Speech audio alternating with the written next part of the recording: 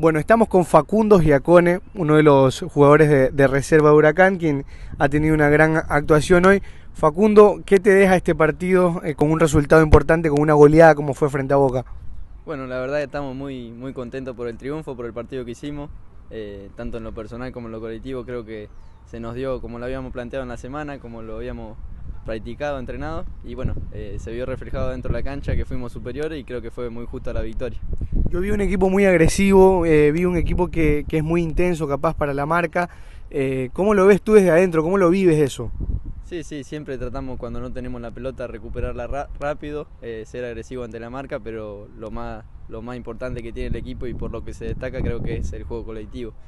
siempre tratando de buscar el arco rival, ir para adelante, los pases firmes, eh, no tanta gambeta, sino eh, juntar muchos pases entre, entre todo el equipo. Y bueno, somos el equipo más goleador del torneo y me parece que eso se ve, se ve reflejado.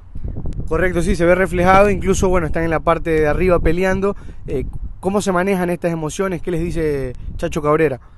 No, bueno, si bien es importante pelear ahí arriba del torneo, creo que en la reserva no es el objetivo principal, porque si bien es lindo pelear y jugar por algo y más en los puestos de arriba, lo, más importante creo que es eh, nutrir al plantel de primera división y bueno, tanto en eso como tanto en los puestos que estamos peleando y también en los jugadores que van subiendo para la primera, estamos muy contentos por todo lo trabajado durante el año. De los goles de los tres o más.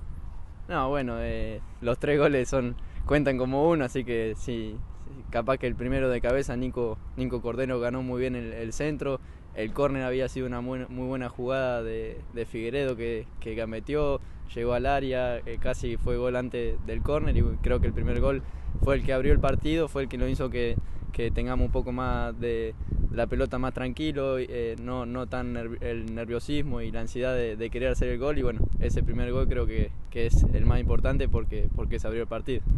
Bueno, y la última, eh, al final del partido lo vi que entró Diego Dabove, ¿Qué, ¿qué les dijo?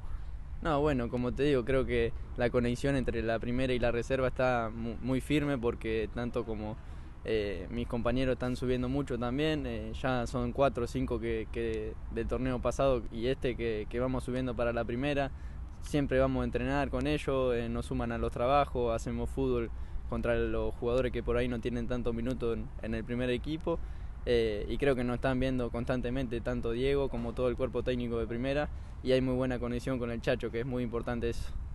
Qué bueno que resaltes todo esto porque, bueno, son uno de los objetivos que creo que, generalmente un equipo quiere, ¿no? Conectar justamente reserva con el primer equipo.